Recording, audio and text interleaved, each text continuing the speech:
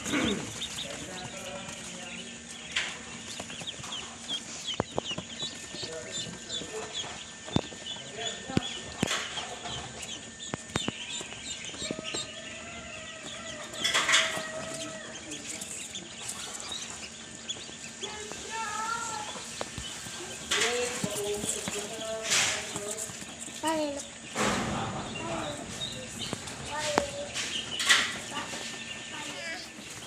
Huwag atasukan na ng valve natin yun.